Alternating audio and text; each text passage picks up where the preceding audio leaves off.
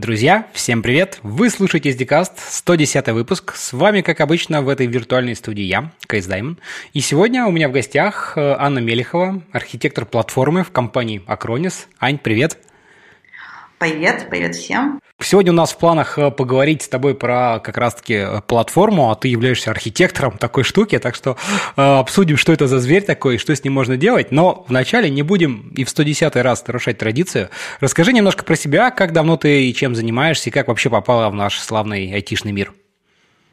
Ну, я заканчивала институт, прям, честно, профильной специальности. А, то есть, в отличие от многих людей в а, IT, чем, собственно, IT, наверное, отличается, это наличием кучи людей, там, хирургов, а, работающих а, на досуге в Linux, да, там, а, патологоанатомов, любящих а, программить, э, или прочих удивительных людей, которые волей судеб оказались вот в IT, которых я безумно уважаю, да, у меня прям профильное образование, и, то есть, изначально как-то туда получилось попасть. А, ну, исторически сложилось, скажем так. Не так, чтобы я была, э, любила информатику в школе, да, там, или кто-то... У меня даже компьютера-то не было, чтобы любить его, да, и на первом курсе института я прям отчетливо помню, когда кто-то из, э, э, ну, как сказать, не коллеги, как называются? Сокурсники. Сокурсники, Сокурсники точно, точно. А вот, сказал, что отправит письмо, я прям удивилась, что пойдешь на почту и отправишь, ну, то есть э, мысли о том, что бывают электронные письма, почтовые клиенты, на первом курсе у меня не возникало, ну, чтобы понимать вот как бы степень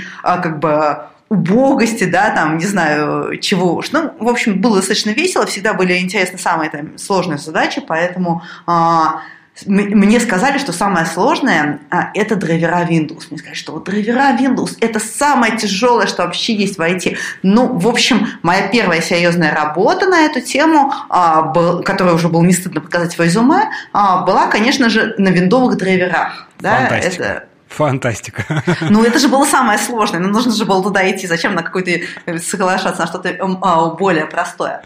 Потом а, мне сказали, что на самом деле драйвера, конечно, Windows это сложно, но вот писать свою операционную систему или виртуальную машину это еще сложнее. Так я оказалась в Parallels. А, причем сейчас вот виртуальные машины на самом деле очень сильно упростились, потому что есть такие классные технологии, как там аппаратная виртуализация, которая позволяет все очень легко сделать. А у нас там было все такое true по-настоящему, да, там с ассемблером, с переключением там жутких регистров, там несколькими пространствами, а, так, чтобы голова становилась квадратной. Ну, то есть это было действительно самое сложное все, что было. А потом, мне, а, потом даже там оказалось просто просто, да, ну не то чтобы просто-просто, но как бы оно стало все predictable, такое ты точно знал, что как вот э, это Ну, погрузилось, погрузилось в контекст уже, знаешь, когда большой зверь немножко к нему ближе подходишь, начинаешь его со всех сторон, и как-то он уже не кажется таким страшным, как это, в общем-то, вводится. Вот, да, именно. И сразу же мне вопрос, а что же еще сложнее, да, там, казалось, еще сложнее это же архитектура, да, потому что а, э, э, в архитектуре никогда не бывает одного верного решения, да, потому что нужно смотреть на вот этого зверя не просто с одной стороны, как это сделать так, чтобы оно работало, да, а так, чтобы потом у него был maintenance cost хороший, о том, чтобы оно вообще еще нужно было, а как мы оценим, что действительно зверь удался, там, а как мы его потом в холодильник запихнем, да, и вот э, это оказалось еще сложнее, и поэтому вот пока я занимаюсь архитектурой. Понятно, в общем, у тебя такая треть, третья стадия, скажем так, назовем это.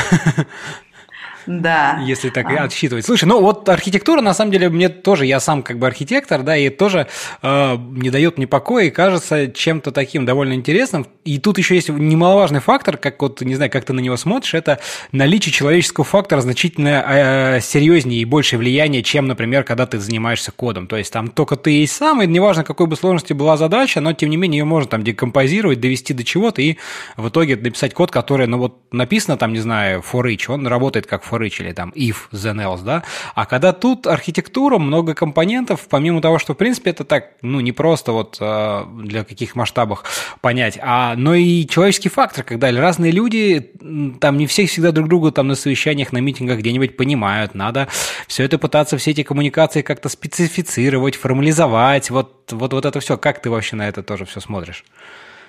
А, я смотрю на это то, что ты совершенно прав, да, а, самое ну, то есть у нас получается прям много изменений, когда мы говорим про архитектуру. С одной стороны, у нас есть изменения, у нас э, сложность кода увеличивается, потому что сложность взаимодействия большого количества компонентов, э, технологических стеков, и чаще, когда мы говорим еще э, про прям цельную архитектуру, то это архитектура не просто программного комплекса, да, там, если говорить русскими словами, а там как это software intensive, да, но это software intensive система, но поэтому у нее еще есть железная составляющая, заодно думаешь, на каких железках все это будет разворачиваться, где у них вы, выплывет ограничение, а сеть-то у нас там вообще нормальная, а что, ну, в общем, возникает вот этот уровень, потом этот э, уровень, э, ну, то есть вот эта вот вся сложность, она оказывается, как я говорила, в много изменений э, под названием quality атрибуты, да, масштабируется, там, как это будет, с какой перформанс работает, а если нас захочет кто-то хакнуть, а если не захочет хакнуть, да, мы тут стену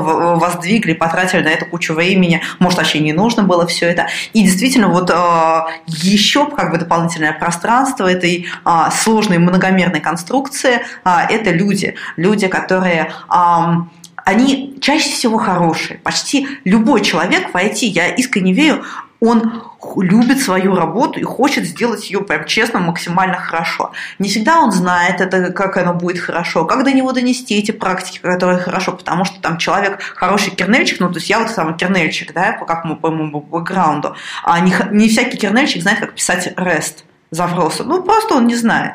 Вот, ему нужно объяснить это заранее, потому что когда он это напишет, тоже ему уже переписывать не захочется. Все же мы не любим переписывать, да, код 10 ну, раз, конечно, он будет, начнет спорить и, в общем, не всегда соглашаться. А, это и процессы, потому что вот есть очень хороший девелопер, есть отличнейший документатор, а, есть чудеснейший а, quality assurance, там наш тестировщик, да, но вот как-то получилось, что один сделал, а другие об этом не узнали, а потом все остальные как-то расстроились, потому что, особенно расстроился проект менеджер или а, потому что продукт в целом не зарелизился, да, вот это же тоже как бы такой аспект, который ты должен как-то учесть как архитектор чтобы все друг друга любили, понимали, взаимно уважали, и главное, чтобы процессы на всем этом были построены так, чтобы это взаимоуважение, оно как бы отражалось э, изначально, не приходилось э, затрачивать спецусилий того, чтобы подумать, а кого мне об этом нужно уведомить, а кого не нужно уведомить, чтобы вот это все как-то вместе работало. То есть, да, архитектор это получается такая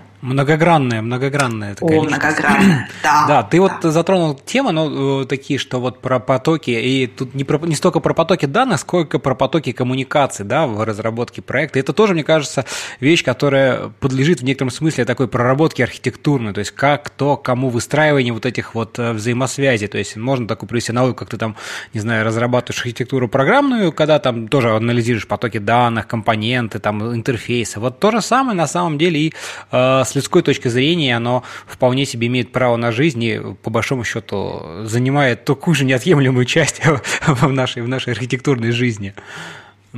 Да, да, ты совершенно прав. Вот эти вот э, а, человеческие потоки. И они, понимаешь, еще в чем дело? А, кроме э, самих человеческих потоков, нам же еще нужно им предоставить механику для поддержания. Вот э, у нас на Хайлоуде вот был доклад, как ты знаешь, вот недавно, а мы как раз с Володей, моей коллегой, э, обсуждали про то, как API строить, да, и вот какие должны быть поддерживающие с точки зрения стороны организации как бы и процессы, и какие-то артефакты, которые должны создаваться, тулзовины, документации, кого там где нужно вовлечь, привлечь, и чем можно всем этим людям помочь, чтобы, ну, потому что мы же все от природы, ну, не то, что ленивые, но вот э, любим сделать свое такое, да, чтобы оно аккуратное вот было у меня, да, а вот как оно все вместе, оно так хуже у нас в голову ложится, мне кажется. Ну, есть такой, да, мы эту тему обязательно про API поговорим, да, наверное, чуть-чуть попозже. Давай начнем вот еще раз, может быть, знаешь, попробуем дать какое-то определение вот там архитектуры платформы, да, вот как бы что это такое в твоем понимании, чтобы немножко, может быть, не все наши слушатели там представляют вообще, что такое система, что за платформа, ну, платформа там, не знаю, на которой там колеса стоят или там, знаешь, что-то такое. Вот дай, как, пожалуйста, свое какое-то такое видение, понимание этого термина. Но смотри, а, платформа а, действительно очень большое там количество а, определений в разных доменах знаний. Я там, если открыть Википедию, там сразу там щух и проваливаешься.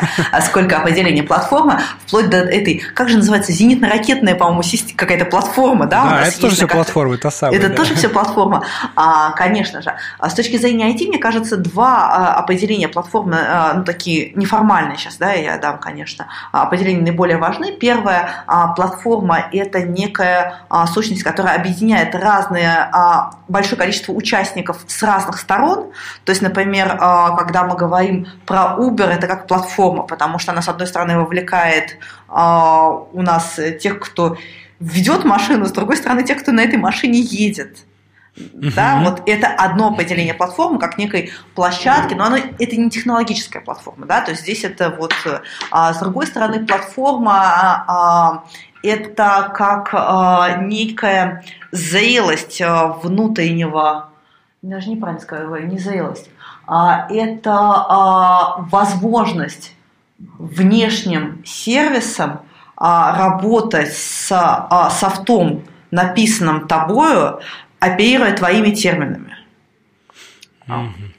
Ну, да, то есть, что, очень какое-то заумное определение получилось. Да. Но э, сейчас смотри, вот э, я просто наверное, расскажу про Acronis, будет совсем вообще понятно. Да, конечно, платформы. это даже будет намного интереснее, как раз на примере, как это у вас.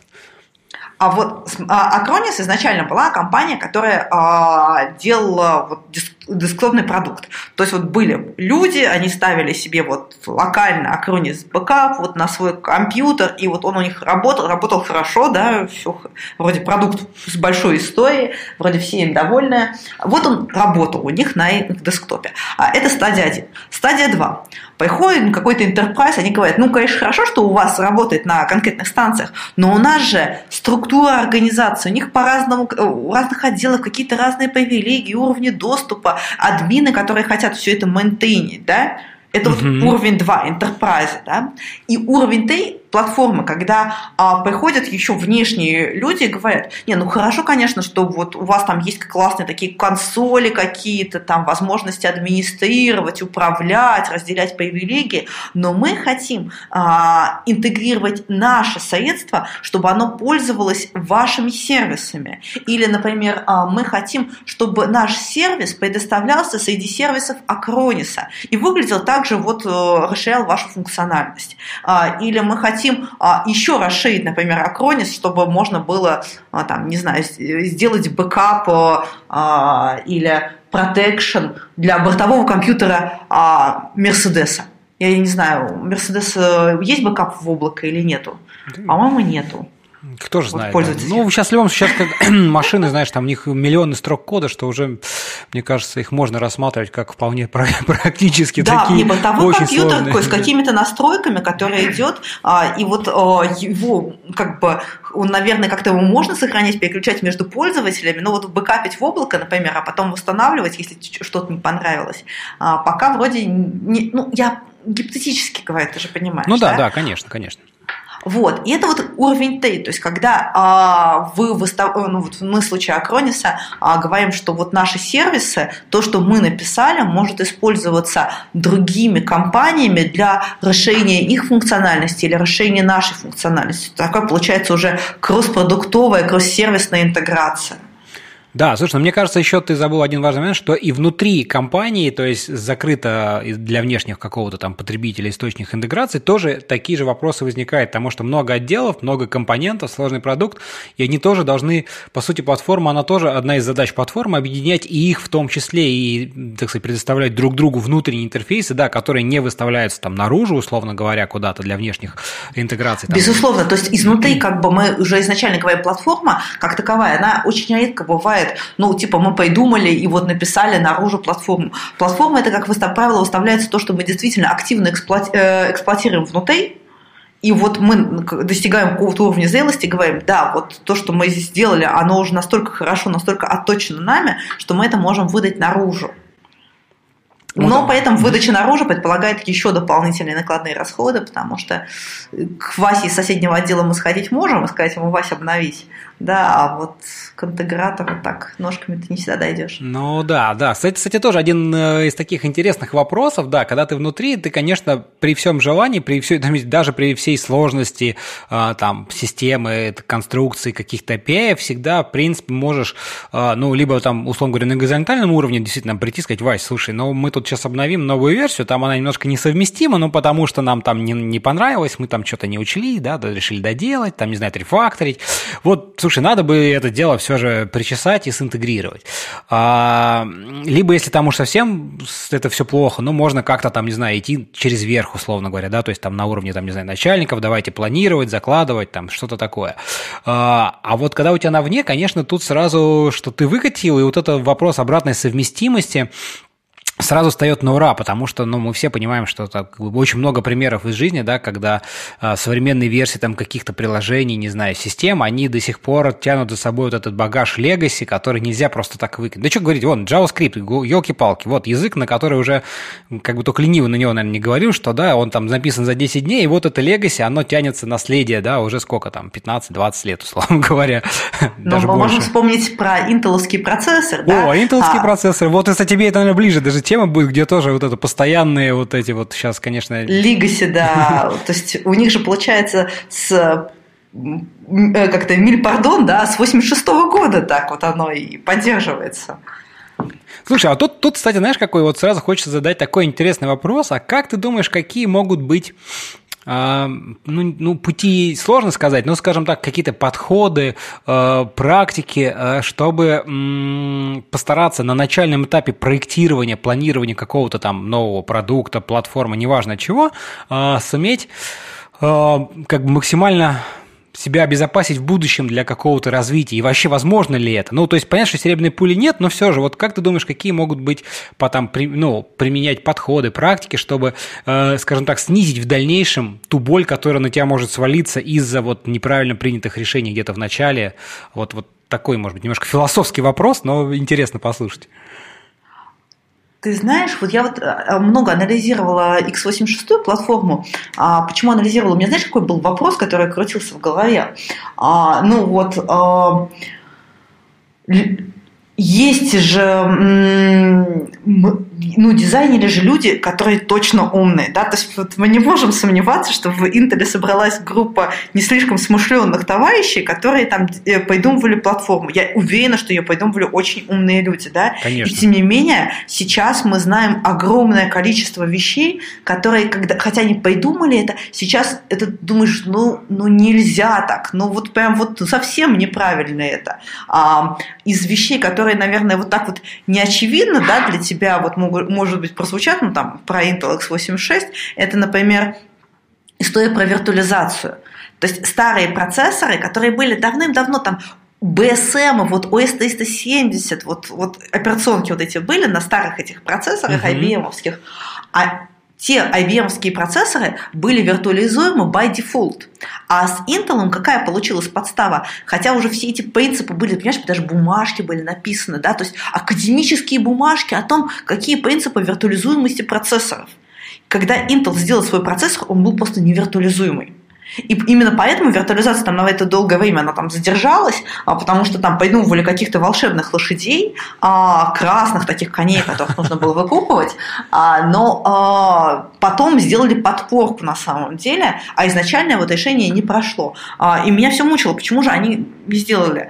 Ну, просто, мне кажется, учесть все невозможно. Мы знаем хорошие системы, которые изначально, а, ну, то есть требования меняются, требования будут меняться всегда. Когда э, винда, когда проектировалась, Windows NT, а, она же была однопроцессорная, да? Угу. Ты знаешь, однопроцессорная, однопользовательская, да, ведь она была.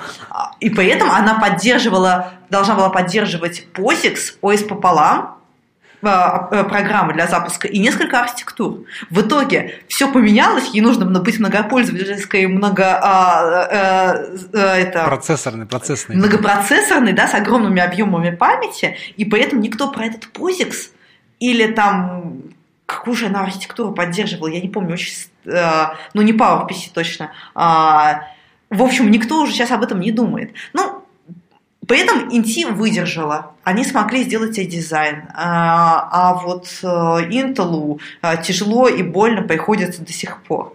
А, сейчас, конечно, с REST есть какие-то наработки. REST API, он чуть попроще с точки зрения а, в целом модели. И есть э, какие-то общие утверждения про то, как делать более расширяемую на будущую архитектуру, что есть back compatible, back не compatible изменения. То есть с, REST, с REST чуть попроще, и это можно там сформулировать некоторые вещи. А вот в, в целом задача того, как сделать API на века, мне кажется, она до сих пор нерешаемая. Ну да, да, наверное, еще раз повторю, серебряной пули нет. Ну, давай, наверное, тогда как раз-таки э, поговорим вот про, про API, как э, такой, скажем, ну, одна из основных вещей, когда ты, у тебя есть какой-то продукт, там, платформа, не знаю, сервис, софт, что-то, и вот мы э, делаем там API для там каких-то внешних будущих там заказчиков, текущих э, интеграций. А, вот давай начнем издалека, может быть, просто как вообще ты думаешь, какие здесь, э, ну, там REST, да, наверное, как один из наиболее подходящих таких и распространенных вариантов, да, предоставления API. Но, наверное, бывают и другие какие-нибудь там бинарные, если там нужен real-time, это что-то еще там вообще на уровне сокетов, наверное.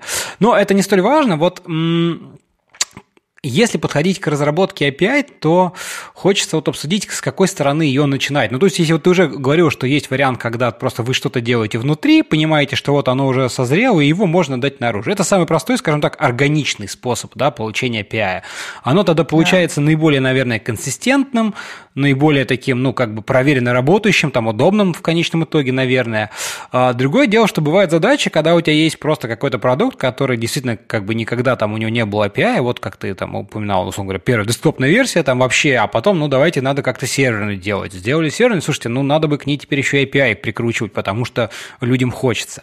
И вот э, как э, Тут э, как вы подходите к этому? Вот можешь так, может быть, немножко так э, издалека общим, с общих таких-то э, таких вводных начать, да, когда вот стоит задача там разработать API. Ну, надо, понятно, что надо определить, наверное, там какие-то функциональные задачи, а дальше вот как, как, как вы ее там детализируете, композируете, декомпозируете и дальше уже превращаете, там, воплощаете в жизнь, что называется.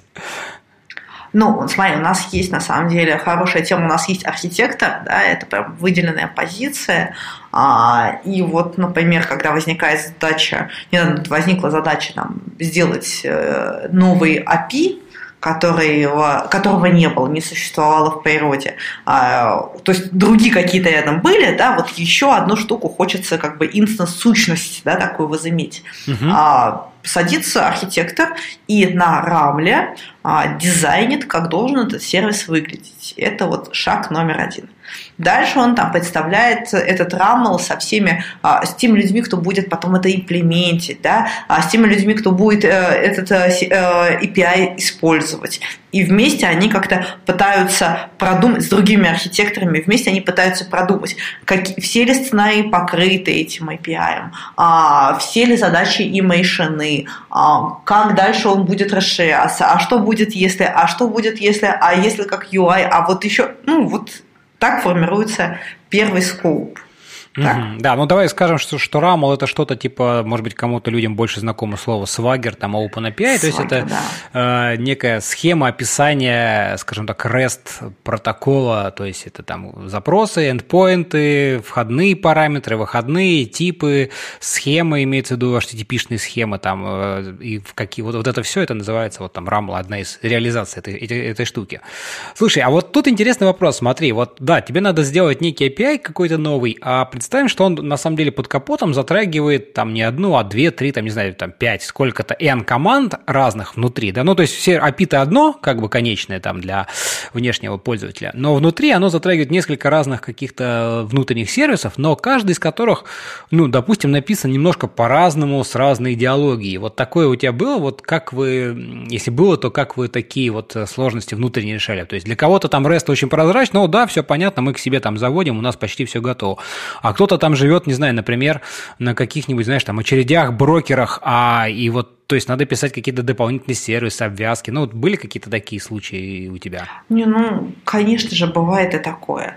А, конечно же, бывает и такое. То есть, э, у, разных, ну, чем хороши микросервисы или там сервисы, у тебя у продуктов разный жизненный цикл, а, и есть у нас и продукты там на разных языках, тоже в том числе, очевидно, да, uh и бывает такое, что вот кто-то сделал там с очередями, с брокерами, ну, что же делать, приходится действительно делать какую-то обвязку с тем, чтобы потом, ну, потом мы приходим и переделываем это, бывают очень... Ну, вот, знаешь, в этом плане, наверное, даже плохо быть архитектором. Ну, то есть, когда ты, э, пока ты разработчик, ты можешь сказать, я четко знаю, все живут на REST, REST единственное хорошее, я не буду думать ни о чем другом. Когда ты архитектор, ты такой, ну, можно и так, а можно и так, у этого-то есть плюсы, у этого есть плюсы, и минусы тоже есть, давайте об этом поговорим. Вот, ну, то есть, вот есть такая история про архитектора, что слишком много знаний, да, и слишком много картин одновременно мира, когда ты понимаешь, что можно очень по-разному построить процесс, главное его просто свести в единую точку. А, бывало такое, что а, API, который построен командой, он, а, как сказать, он не укладывается в REST идеологию. То есть вроде как он, конечно, в REST описан, но вот это не REST, честный. Uh-huh. А, и тогда начинается там тоже и дизайн. А, бывает стадии, когда там используется переходник, там, паттерн переходник, я думаю, один из самых популярных из этой книжки Gang of Four, помнишь, да? Ну, конечно, конечно. Куда же, куда же без них-то, без родимых паттернов?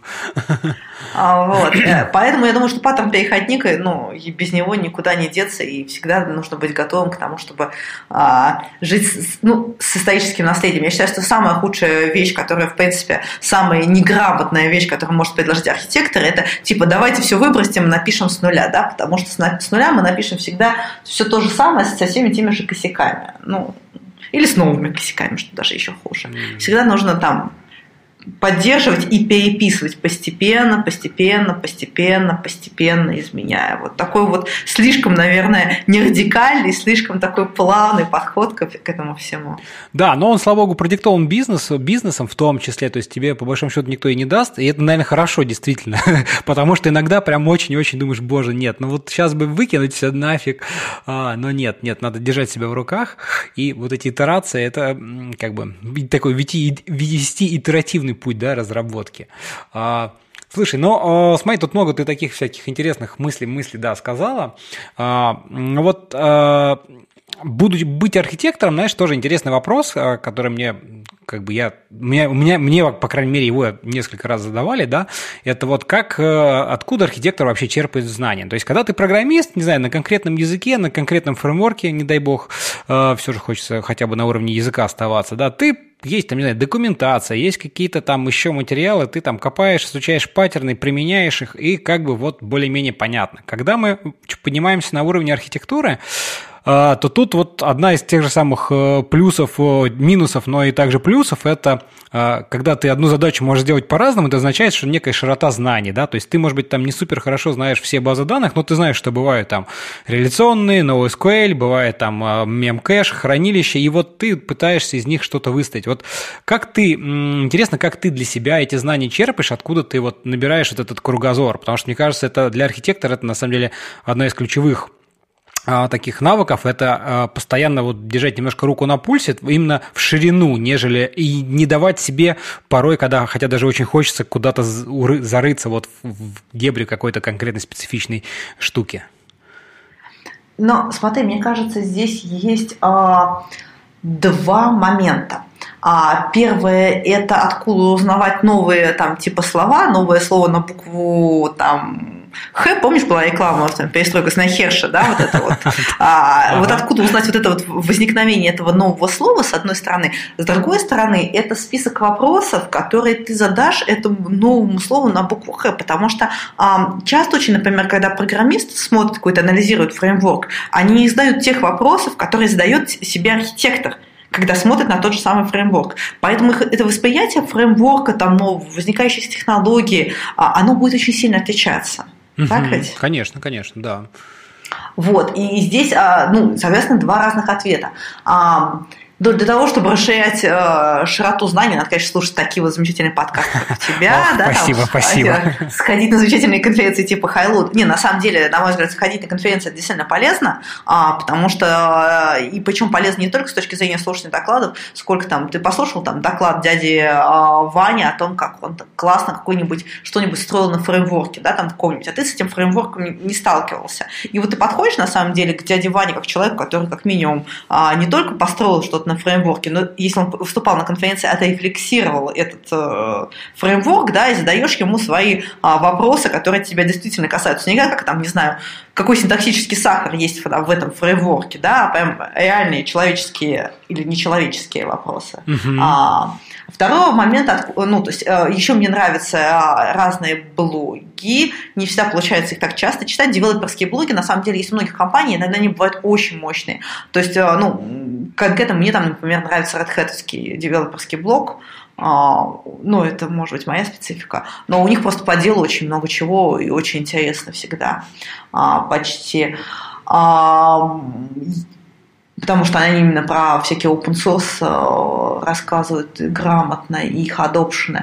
А второй блок знаний а, – это история про, а, да, про фреймворки, на мой взгляд, читать э, книжки полноценные практически утопично. Но в смысле того, что каждый раз выходит а фреймворк, но мой, мой новый фу фреймворк, бла-бла-бла. И вот там описание, там такое, секое, пятое, десятое. Куча деталей, которые, ну, то есть полезные, а, наверное, человек, который не знаком еще ни с одним фреймворком, да, данной категории. Вот он там выпустился из института, и вот он этот фреймворк начал использовать, да, или у него очень ограниченный спектр. Ну, тогда это полезно, вот такое совсем детальное описание. А большая часть вещей, ну, из фреймворков, на мой взгляд, ну, то есть они как-то, не знаю, заданием правильных вопросов и самостоятельным про, э, там, разработкой of concept на базе этого фреймворка, они как-то так постигаются, ну, более кинестетично, что ли.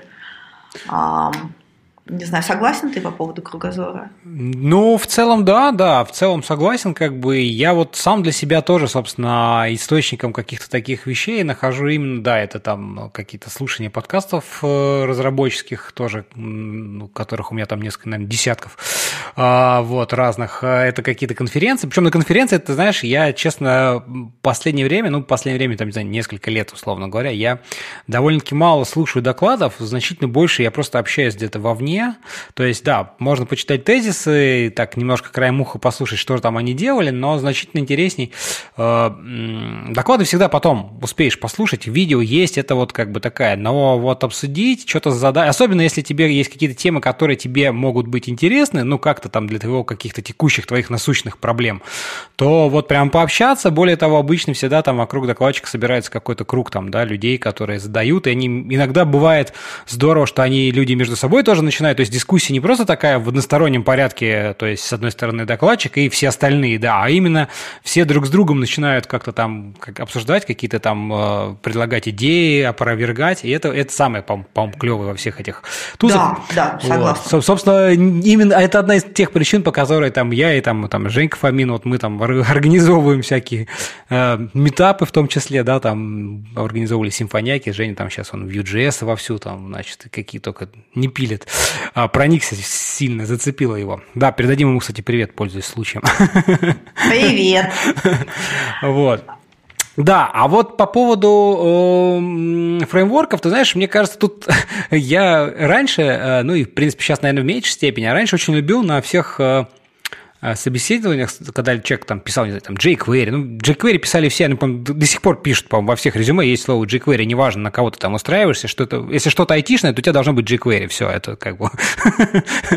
Вот, я всегда задавал один простой вопрос, а ты хотя бы исходники открывал там вот этого фреймворка, там, я не знаю, да, библиотеки, и это вот э, но это те знания, которые должны черпаться, наверное, именно вот больше таким человеком, который там а, более узко, скажем так, направленный, да, там какой-то разработчик там на языке, еще на чем-то, на какой-то. Не, нет, ты знаешь, я вот здесь мне кажется, что вот э, понимание базовые принципы, собственно, из чего этот фреймворк состоит и какие он задачи изначально э, решал и как он изнутри устроен, ну то есть э, мне кажется, например, если даже человек там не знает детали там гошного синтаксиса, мне с этим ну я, например, даже его на позицию Go а, нормального там могу взять, но если он заявил, что он программирует на Go, и он не знает, чем Go-рутина отличается от фредов, или говорит общее, типа, они легковесны. А в чем легковесность их заключается? Почему они легковесны? Как это достигается? Если вот тут он запнулся, ну, то есть, ну, как мне могу говорить с человеком о чем-то?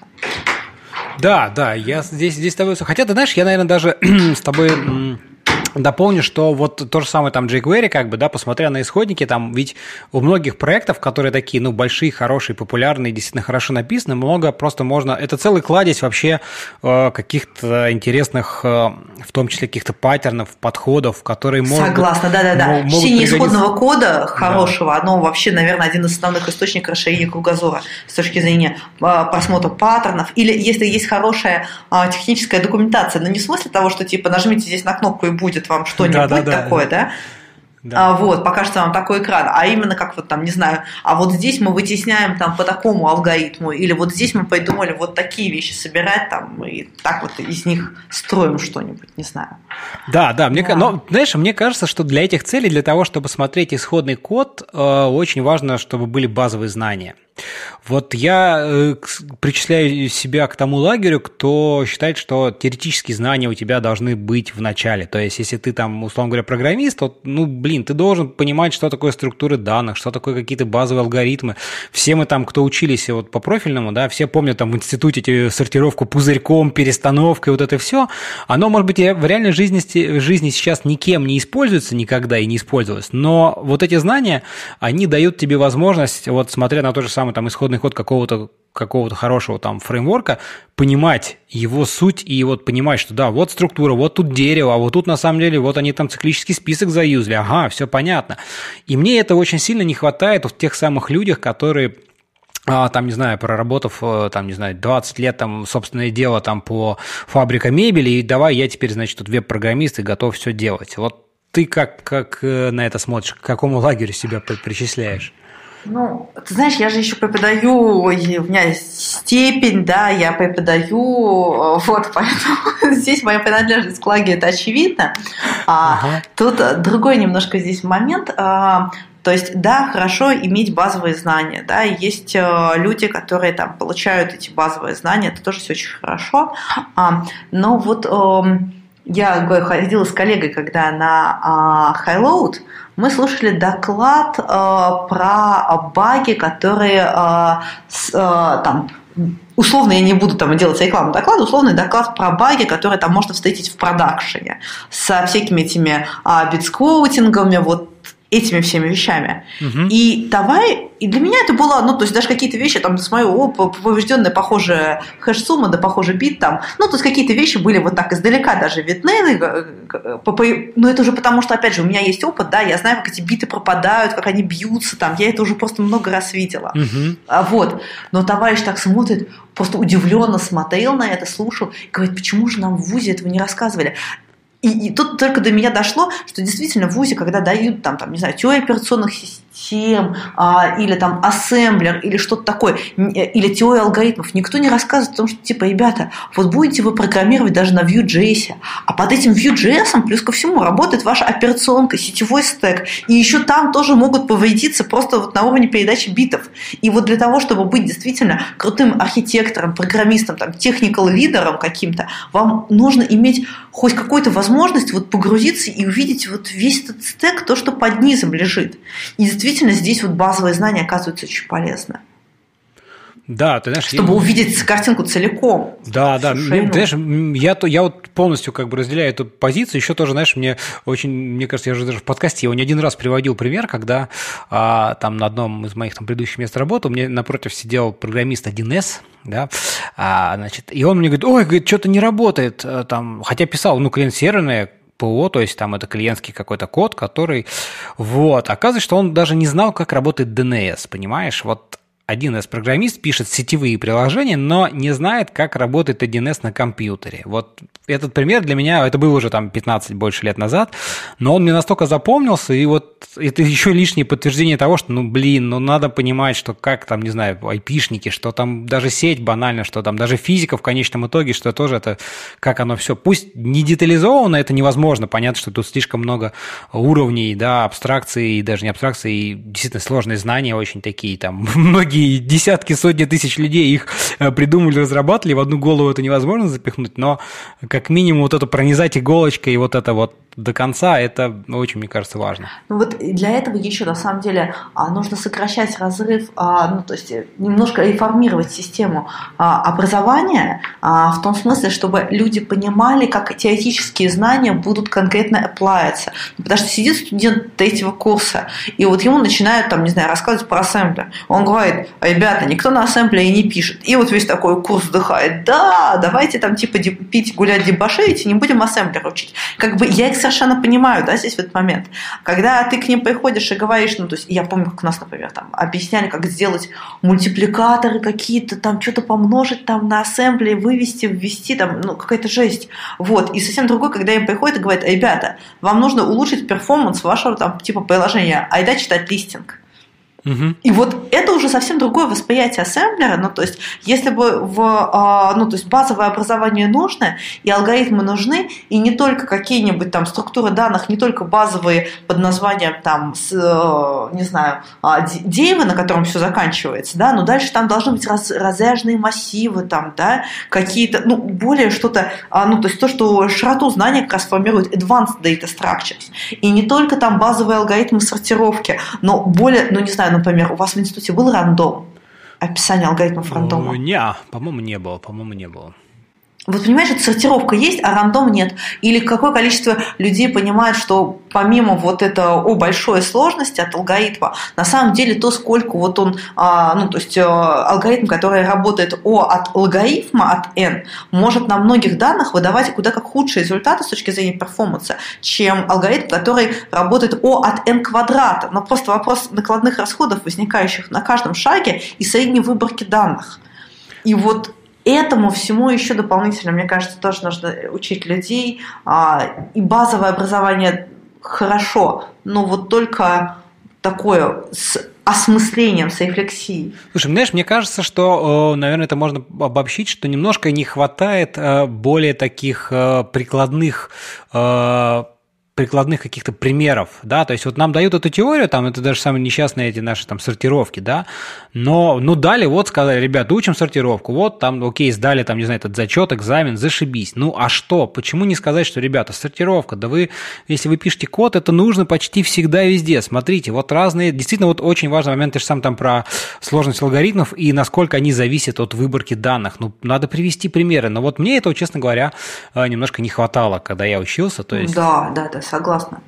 Согласна. Слушай, а расскажи а, немножко, что, что ты преподаешь, просто вот как ты пытаешься эти, эти вопросы больше, может быть, там вот как-то практикой дополнять какими-то прикладными примерами, задачами? Ну, а мой первый курс, который я написала, да, меня на самом деле практически обманом повлекли в преподавание. А вот, а, это реально было прям Спасибо моему научному руководителю а, и вообще хорошему другу, хорошему человеку Тормасову Александру Геннадьевичу, а, ректору Наполису, который мне практически не, сказал не всю правду и сказал, что мне нужно читать курс, и давай ты, я тебя подписал, ты будешь читать курс на нашей кафедре. А, вот. А, курс назывался «Индустриальное программирование», а, и задача его была такая, как раз... А, а, попытка сократить разрыв между людьми, имеющими опыт написания маленькой лабораторной работы и людьми, которыми э, пригодны для работы в компании. Ну, потому что ко мне приходили студенты, и всех их приходилось учить одному и тому же, как пользоваться там SVN, а, как оформлять код, как писать pull request, да, вот какие-то такие вещи, которые нужны там индивидуал контрибьюторы. Что такое тесты, зачем нужны тесты? Ну, все, казалось бы, как, как не знаю, как забивать баг, да, что в нем должно быть описано, ну, то есть, что его потом люди читать будут да, нет, они хорошие люди, они умные люди, но только ты им напиши, ну, там, больше, чем пять символов. Ага. Вот, а, которые будут сабч, точка. А вот, что это плохое описание бага. А, это очень, ну, то есть, поскольку я учила людей одному и тому же, в какой-то момент я сделала курс, сейчас я этот курс благополучно дала за меня, его читают там другие люди, курс на самом деле пользуется популярностью на физтехе. А потом я делала два курса по архитектуре и по виртуализации виртуализации и облакам. А по архитектуре у меня курс на самом деле сфокусирован на другой части, когда мы с тобой говорили про кругозор, да, вот про то, как архитектор, да, угу. мы говорили с одной стороны кругозор, с другой стороны задавание вопросов. Так вот, курс у меня в основном по поводу задавания вопросов. Это там всякие quality attribute, как писать архитектурное view, как бы какие, э, возможно, есть такая штука, какие бывают э, возможные тактики. А, ну, то есть, а, какие тактики, разные паттерны архитектурные, с одной стороны, с другой стороны, как их э, улучшать разными тактиками. А, например, для достижения лучшего availability, debugability, а, ну, то есть такая вот как раз квинтэссенция а, анализа чужого кода, по сути, эти тактики. Интересно, интересно. Вот. Так что такие курсы у меня есть. По архитектуре неплохой получился. Слушай, здорово, да. Я, ну, а как, как тебе, слушай, а как тебе вот студенты современные? Вот я там преподавал тоже где-то, когда еще после института, там учился в аспирантуре, понятное дело, преподавал там даже в нескольких институтах. И вот э, у меня такое чувство, знаешь, что вообще студенты немножко деградируют вот за, за эти годы, и как-то общий уровень немножко печально смотреть, что современные студенты, они вообще такие пофигисты, ничего не надо. Вот у тебя нет такого ощущения? Все же как бы как... Ох, может быть, тебе... Знаешь, может быть, вот тебе... вообще нет. Да? Ой, это да. супер, кстати. Вот просто интересно. Ну, возможно, разные там институты, разные какие-то... Да, выборки, да. Просто интересно. То есть у тебя не, не сложилось такого, да, ощущения? Тебе кажется, что все-таки все равно есть люди, которые там хотят знания получать, там рвут и мечут, в общем. Uh, у меня более чем, ну, то есть, во-первых, я же преподаю, получается, на физтехе, на физтехе на наш факультет там проходной балл, по-моему, 297 из 300, понимаешь? Вот. И в Иннополисе, где проходной балл примерно такой же, то есть, они ЕГЭ формально не смотрят, но фактически получается, что они потом смотрят, и у них там говорят, о, у нас такой-то получился средний балл а, по ЕГЭ, хотя мы не использовали ЕГЭ для там анализа. А, и там а, и э, в обоих вузах, ну, то есть э, ребята, конечно, иногда бывают и не очень, но вот и я очень довольна. Ну, то есть там такие прям выдающиеся товарищи, я вот на них смотрю и думаю, ну ничего себе, я в годы даже близко этого не могла сделать, представить, меня в голову не вмещалось то, что вот они сейчас делают.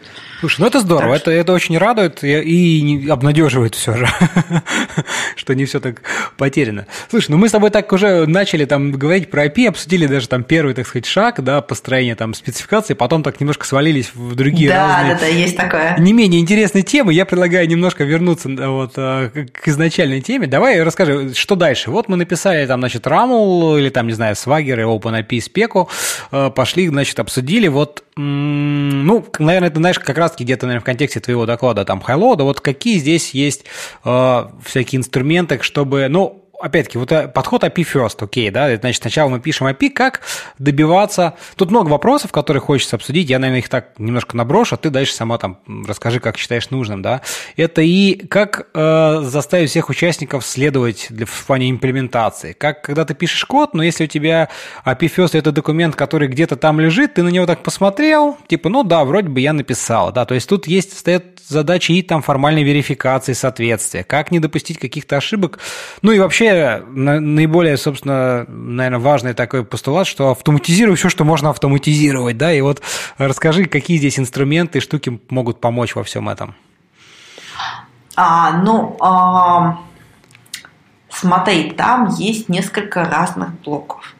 А, блок один это назыв... то, что ты вот говоришь а, про соответствие имплементации versus аннотация. Как проверить то, что написали, оно соответствует а, формальной аннотации.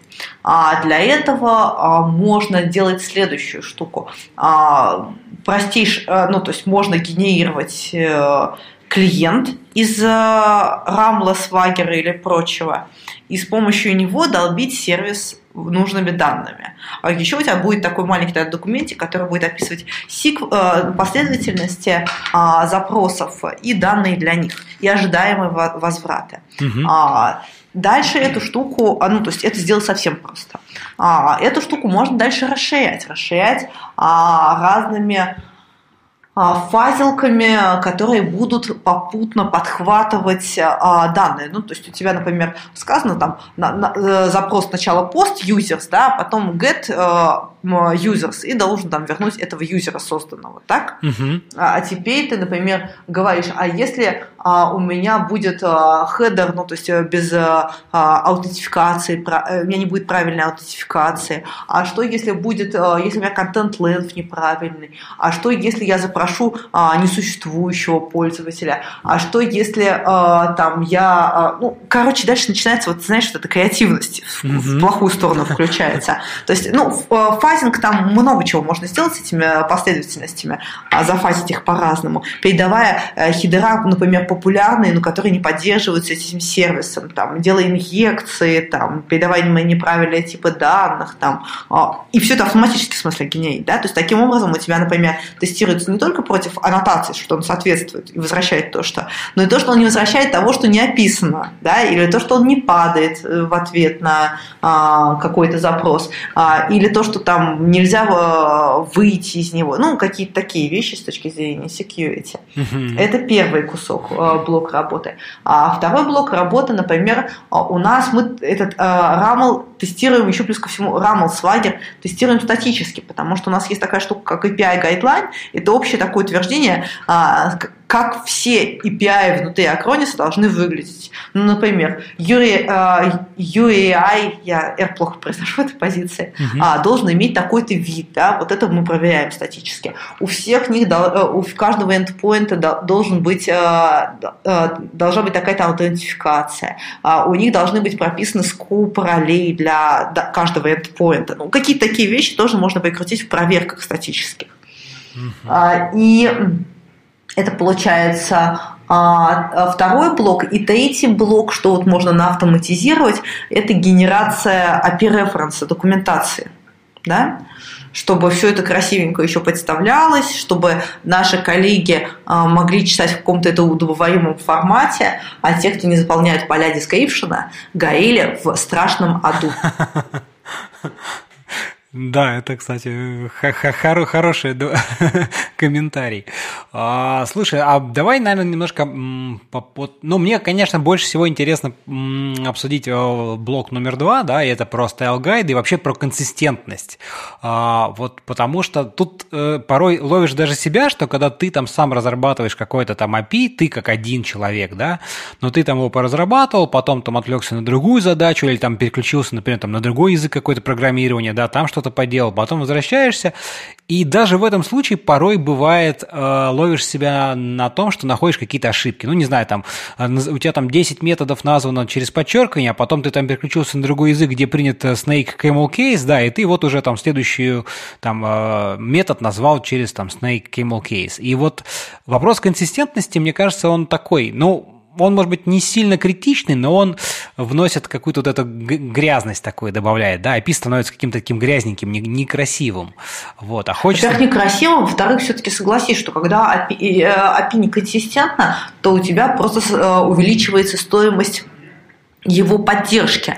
Э, это э, для приватного API это тоже, ну, то есть человек разобрался с одним API, а в другом API все по-другому, да, э, camel case или там, а, это еще ничего, а вот если, например, паджинация устроена по-разному, да, или разные схемы аутентификации, ну, то есть разный код писать, ну, то есть это всегда стоимость. А если уж у тебя внешние интеграторы а, с твоим кодом работают, так это еще стоимость обращения в суппорт, да, мне кажется, вот здесь вообще, ну, то есть в идеальном мире, мне кажется, если ну, нужно давать премии, если программисту модели сделать такой API, а, который, с одной стороны, использует, с другой стороны, а, не, не генерирует вопросы в саппорт.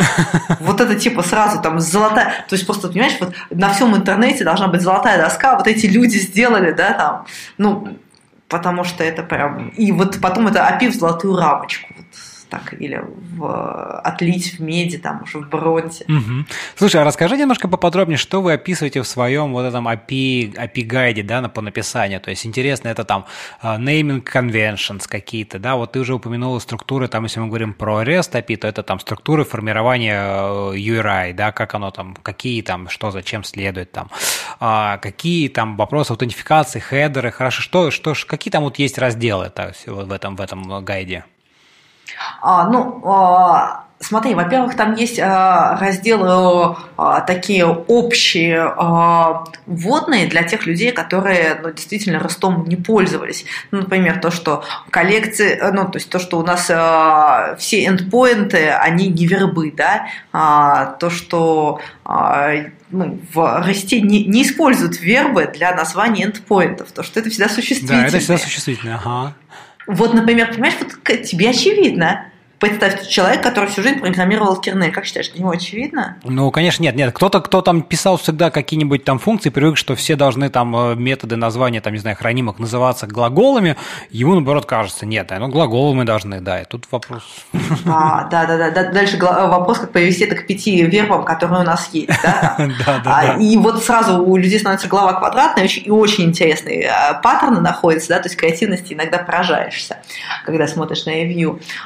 Вот вот такие вещи описаны. А, описаны, например, а, коды возврата, которые а, мы предполагаем к использованию или не предполагаем использованию. То есть, например, то, что, да, ты не представляешь, но на самом деле вопрос даже про идемпотентность или неидемпотентность поста ну, казалось бы. Ну, как бы, Но да. по, по, по-разному люди склонны решать, и для того, чтобы каждый отдел не решал по-своему, мы это прямо описываем. Ну, просто чтобы это было общее какое-то решение, все, мы о нем договорились, оно может быть не идеальным. Да, могут быть какие-то разные вещи. Но пока вот, вот прям не возникнет там железобетонная уверенность, что вот я никак иначе не могу, да, вот давайте использовать общее решение, просто потому что, ну, так всем будет проще. Uh-huh. А, ну, нейминг конвенции, естественно, а хидера, которые у нас обязательно использование, хидера, которые у нас рекомендуемые к использованию, ну, а, хидера, которые мы, а, как выглядит э, формат кастомных хидеров, а, какие-то общие, а, ну да, например, история про коды возврата да, то есть э, тоже, ну, это как бы дополнение к тем, кто не, не использует REST. Ну и главное, что мне, мне кажется наиболее полезно вот в API гайдлайне, э, это и security схемы, и история про то, э, какие, ну, в паттерны используются в более в большом смысле. То есть как мы организуем там бэч операции, а как, а, какой у нас язык для фильтринга, да, как у нас устроена паджинация для сервисов. Какие такие общие вещи, общие паттерны, которые почти каждый сервис решает, да, по мере сил. А, вот мы там описываем. А, да, еще названия и типы для структур данных, которые в целом у нас на Acronis используются. То есть у каждого, у каждой компании есть какой-то в зависимости от бизнес-логики компании, какие-то достаточно общие, универсальные правды, и там надо использовать их консистентно, там, не знаю, tenant ID, он там навсегда всегда будет, например, стрингом, а не интом где-нибудь. Ну, вот такие такие вещи. Ну, то есть это, условно говоря, вот те, такие основные сущности, которые как бы кросс, ну, скажем так, в данной предметной области, чтобы они были консистентны, в том числе да. с кросс API, ну, во всех API как бы реализациях. Да, да. Угу. Слушай, здорово, понятно. Мне кажется, это тоже довольно-таки полезная такая информация для тех, кто там пытается только проектировать свою API, что вот эти все вопросы, их имеет смысл, в общем, озвучивать на ранних этапах, и чем, чем больше Мне вы... кажется, на самом деле, как только у тебя больше, чем одно API, и тебе уже второй человек приходит с тем же самым вопросом, ну, ты сможешь все программисты ленивые, да? Ну да, да, да. Если тебе второй раз пришли с этим вопросом, ну уж легче описать, чтобы еще третий раз не приходили. Ну, то есть...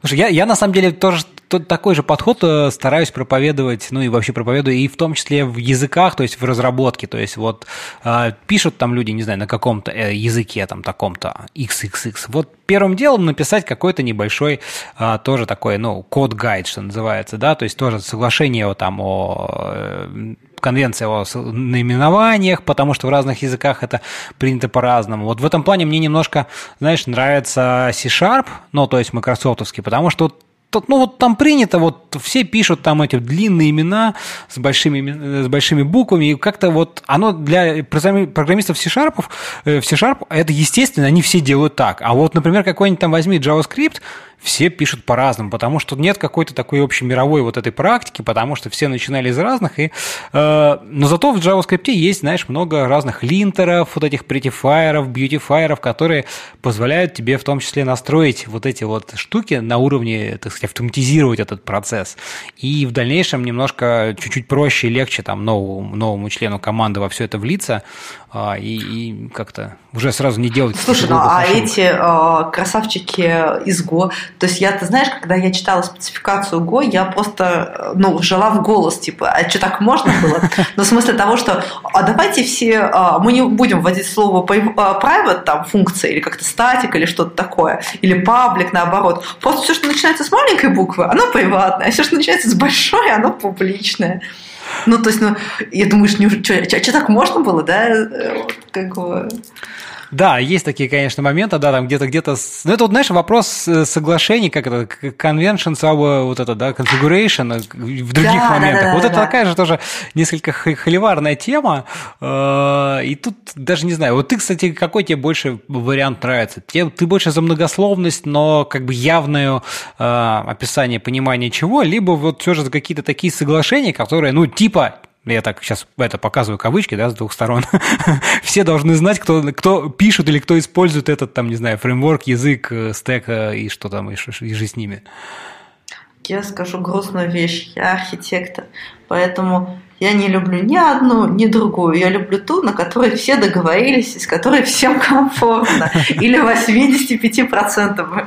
Ну, то есть, э, мне нравится и то, и другое. То есть, я себе могу легко представить случаи, когда... И я даже представляла, я писала и так, и сяк, да, как программист сама. Ну, потому что иногда бывает одно более удобно, другое раз другое более удобно. А в целом лучше, главное, чтобы команде было хорошо.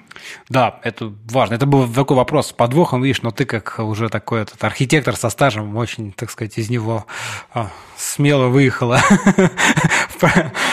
правильным такой мыслью. Слушай, ну э, вот мы вроде бы обсудили там, какие можно, как можно там строить и в что-то автоматизировать. Давай, наверное, а теперь попробуем вот такой хочется вопрос обсудить, да, как сделать это API, не знаю, там, ну, удобным это вот вопрос там обсуждения, использования, но и э, в конечном итоге наверняка ведь есть люди, которые, там, допустим, ты, у тебя было одно API, все его как-то привыкли, потом ты говоришь, ребята, мы сделали новую версию, она вообще супер чумовая, давайте все переходите на нее. Ну, понятно, что есть бизнес, который там скажет, денег нет, нас и все на старое устраивает, но э, вопрос вот какой-то, знаешь, э, я не знаю, если так можно выразиться, популяризации какой-то вот этой платформы, ну, API, вот как, как создать такой внешний э, интерес к вот к, к тому, что ты делаешь, к этой платформе, к API, что оно действительно классное. Мне кажется, тоже такой момент, который, может быть, немногие о нем и задумываются, и, может быть, оно не совсем прямо уж так вот там про архитектуру и про что-то такое техническое,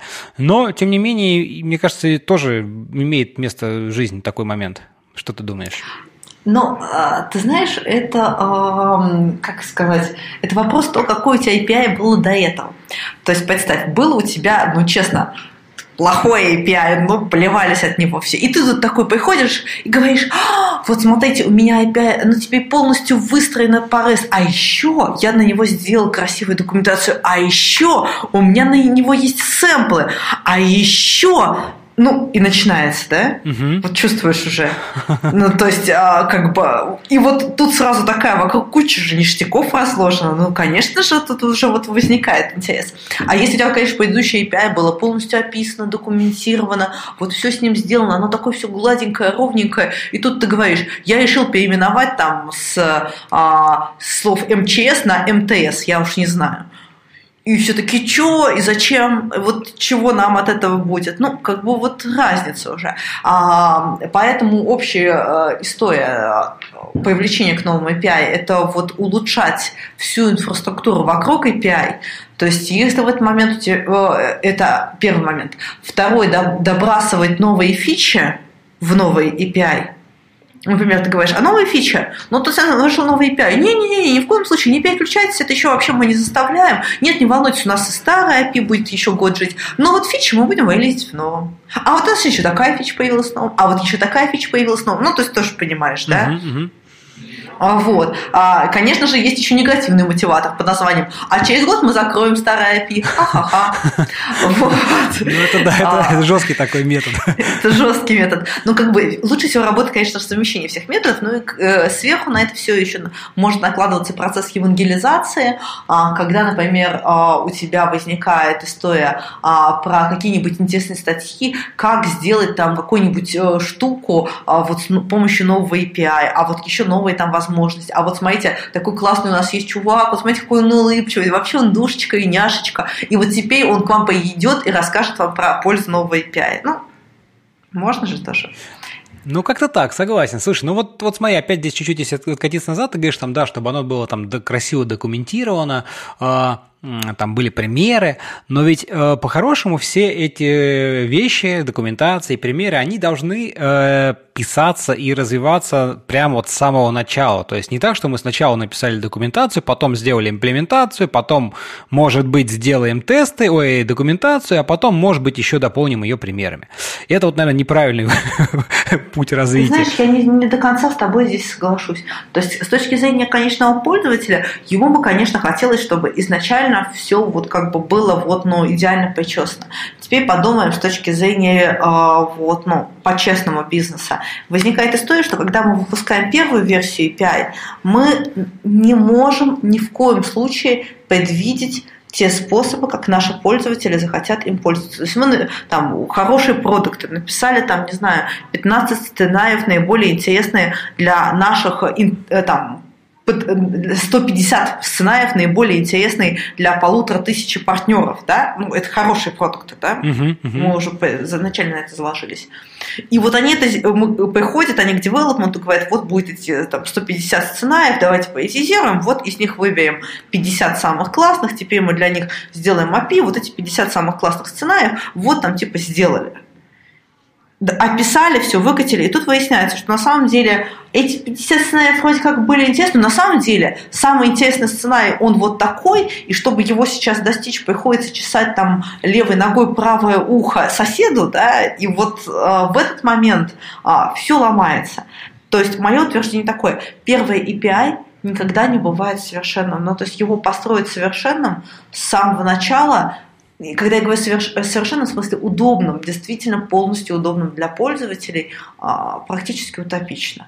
Поэтому, мне кажется, вот в первой версии API все изначально готовить, но оно несколько избыточно. С другой стороны, то есть какая-то минимальная документация, сэмпла, конечно, желательно, да, потому что как же люди начнут... Ну, иначе, да, просто как они будут пользоваться этим API. Да, то есть, вот, да, мне, да, мне, да. мне в этом плане тоже всегда убивает, но ты же там какие-то open source там, библиотеки, ты открываешь, и типа API нету, там в лучшем случае какие-то публичные методы висят, ну, хорошо, если они еще, их имена говорят хоть как-то сами за себя, но и то мы понимаем прекрасно, что нельзя там, не знаю, там get name или там get user описать, что это именно пользователи, которые там какие-нибудь бизнес-домен, да, что-то такое в предметной области. И вот, mm-hmm. конечно, это, думаю, расстраиваешь, думаешь, боже, ну как этим пользоваться, если нет документации? Вот, потому что тут, конечно, я с тобой соглашусь, что какой-то трейдов должен быть, то, что тратить прям силы вообще 100% сразу все описывать, документировать подробно. На 15 языках. Да, да, еще и, там, еще и там, да, не дай бог, на 15 языках, это, конечно, для первой версии, которую в любом случае надо будет выбросить. Ну, собственно, API в данном случае ничем не отличается от любого другого софта, и первая версия всегда подлежит переосмыслению, да. какой бы она ни была хорошей. Слушай, ну а вот все равно, вот такой философский вопрос, как ты вот, э, вот что такое для тебя хороший API, да, вот такая уже мы вошли в такую философскую немножко. Ну, э, его же есть формулировка, очень мне нравится, э, что хороший API it's easy to use, it's hard to misuse. Очень ну, хорошее определение. Очень хорошее, да, определение, на мой взгляд. А, то есть а, здесь вопрос а, про краткость и полноту вот эту компромиссность вечную архитекторов да, описана. То есть если мы сделаем избыточный API с большим количеством возможностей, в нем будет легко потеряться, возможно, будет неправильно его использовать.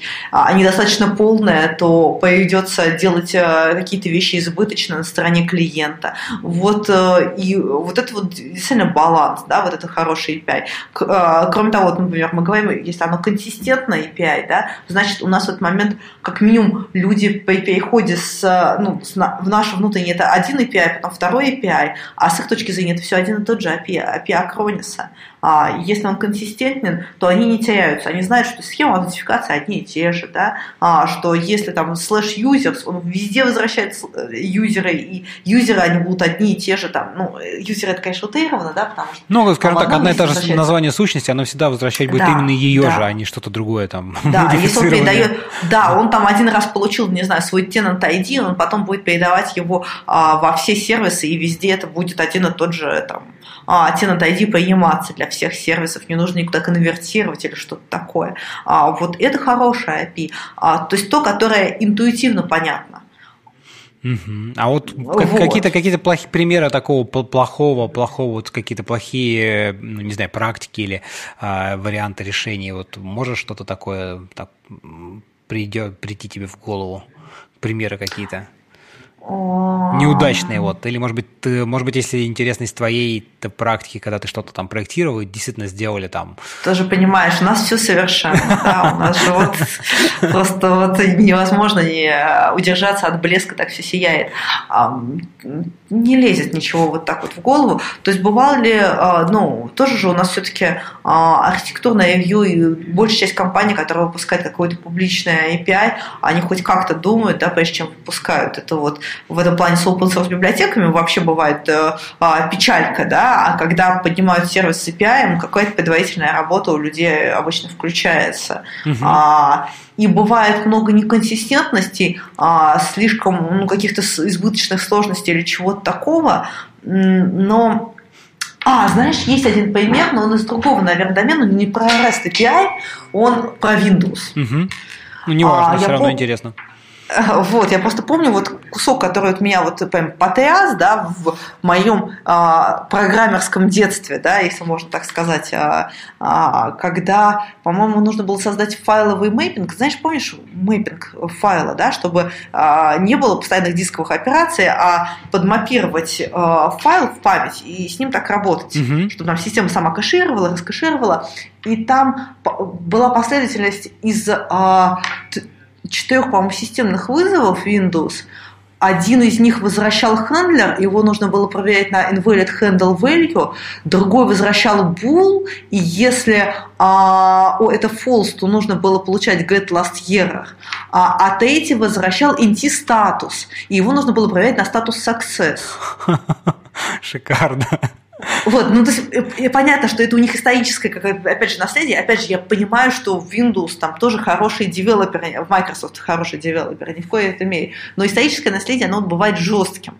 И вот, ну, вот такой пример, когда вот э, для достаточно а, ну, понятного flow, да, то есть не то, что я брала из разных доменов, да, это вполне себе flow, это прям пример был на MSDN, и вот он честно демонстрировал, что нужно три разных вида обработки ошибки использовать.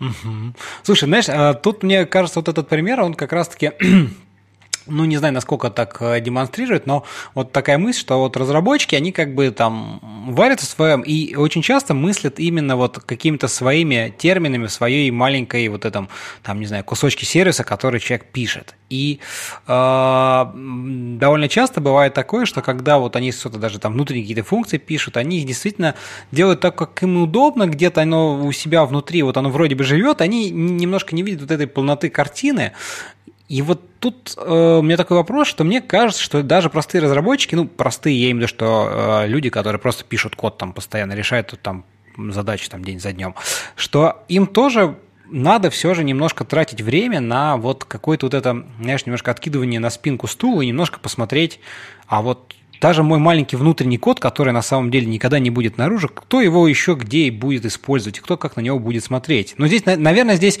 можно вспомнить... Ну, про... разница, наверное, в сторону lead developer а. То есть мы просто говорим про разницу между developer, senior developer и lead developer, да, ну вот на мой взгляд. Uh-huh, uh-huh. То есть вот lead developer это как раз тот человек, senior developer, который продумает, а, а что вообще с этим API кто его вообще еще будет использовать, а, вернее, а что с ним будет, в, э, что с ним вообще будет, какие паттерны использования его есть, и как мне там что-нибудь еще с ним протестировать, еще там подпереть его и что-нибудь для него гарантировать, а лид продумает еще про то, а, собственно, а куда он наружу попадает, да, и вот где его границы использования, с кем он еще пересекается, да, угу. да, Слушай, ну, мне кажется, тут вот э, мы так уже э, потихонечку будем, наверное, закругляться. Философски. Да, да, на философской ноте. Но вот расскажи, как ты думаешь, вот э, как разработчик, если он хочет, вот действительно ему там интересно заниматься как-то архитектурой, то вот какие шаги или, скажем так, что что нужно делать простому разработчику, чтобы стать архитектором? Ну, потому что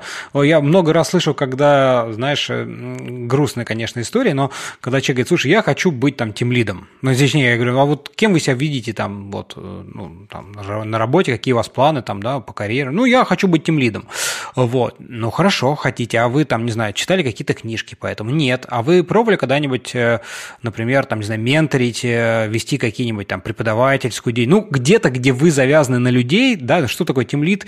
А, это человек ты коммуникации и вообще управление взаимодействия с людьми, это, ну, очень сильно, очень большой процент времени от, твоего, от твоей работы будет занимать. Нет, ничего не читать. Большую часть. Большую да, часть, да.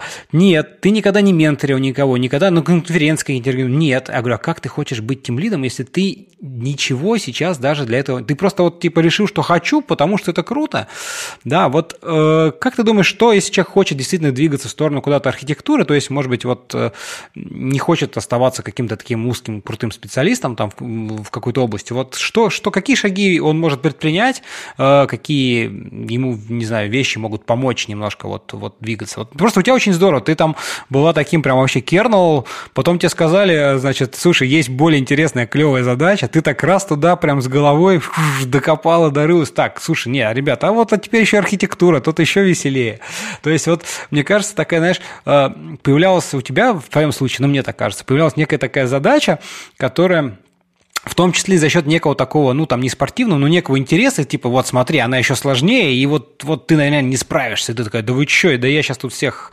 А, и вот как-то, ну, ты так это рассказывал с такой очень эмоциональным окрасом, мне очень понравилось. Вот как ты думаешь, может быть, какие-то другие есть еще варианты попытки а, пробиться вот в сторону архитектуры, архитекторов, ну, каких-то таких позиций? Ну, а, здесь а, ты Макс Дорофеева читал? А вот да, что, конечно, да, конечно. Вот, да. У него есть универсальный совет, да, на любую ситуацию. В любой известной ситуации думать, да.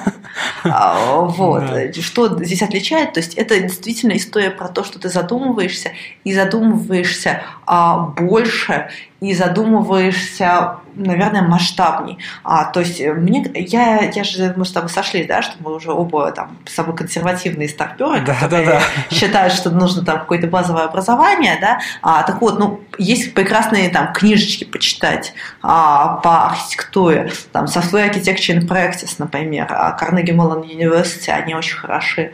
А, вот. И а, там просто понимать, какие вопросы ты должен себе задавать. То есть, на мой взгляд, архитектор начинается с того, что первое, ты задаешь себе вопросы, второе, ты смотришь, можешь ли ты на них ответить. Если ты не можешь на них ответить, чего тебе не хватает. То есть архитектор ну, очень сильно про, с одной стороны, людей, с другой стороны, про рефлексию.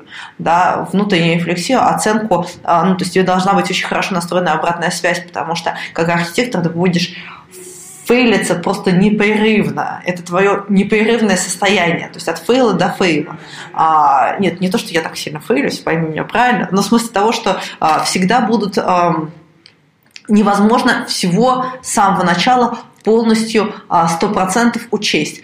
То есть э, ты учел 99%, 1% ты не учел в чем-то. А, ну, потому что его невозможно было учесть, как, например, в случае Windows NT с таким сильным изменением требований. А, как сделать так, что там а, вовремя подхватить, вовремя увидеть этого слона, который входит, да, вовремя понять, а, в какую сторону нам дальше развивать этот продукт и двигать, чтобы оно все вокруг а, было в достаточной степени зрело. А, налаживать отношения заранее с людьми. То есть я не верю, что может быть архитектор, который вот он такой сидит, вот он сидит в углу, и вот всех он ненавидит, потому что все дебилы. Вот, понимаешь, вот я не верю, что вот ну, этот архитектор, он действительно способен донести до людей там технические решения, потому что тебе придется доносить решения до разных людей с равным уровнем а, программерских скиллов в том числе, да, если ты ненавидишь их априори, ну, то есть очень сложно будет им тебя слушать, да, а тебе понимать, почему они приняли это решение. То есть архитектор это еще очень, ну, про умение слушать, так ведь, да?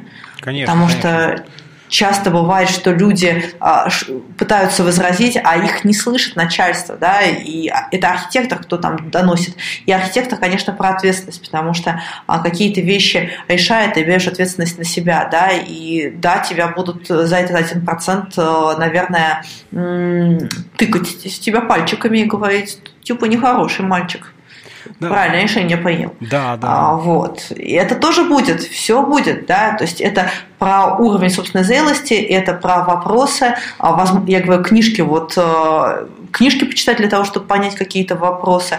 А, лучше всего, конечно, с моей точки зрения, это какое-то наставничество. То есть, если есть один человек, который по тебе, ну, то есть просто присутствовал, в, а, поработал в компании, где есть а, уже архитектурный процесс, то есть люди уже научены задавать нужные вопросы правильные, и ты просто присутствуешь, неважно даже как разработчик или как архитектор, ты постоянно ваешься вот в этих вопросах, у тебя формируется определенный вот этот угол зрения, через который ты уже, призму, через который ты все это будешь анализировать.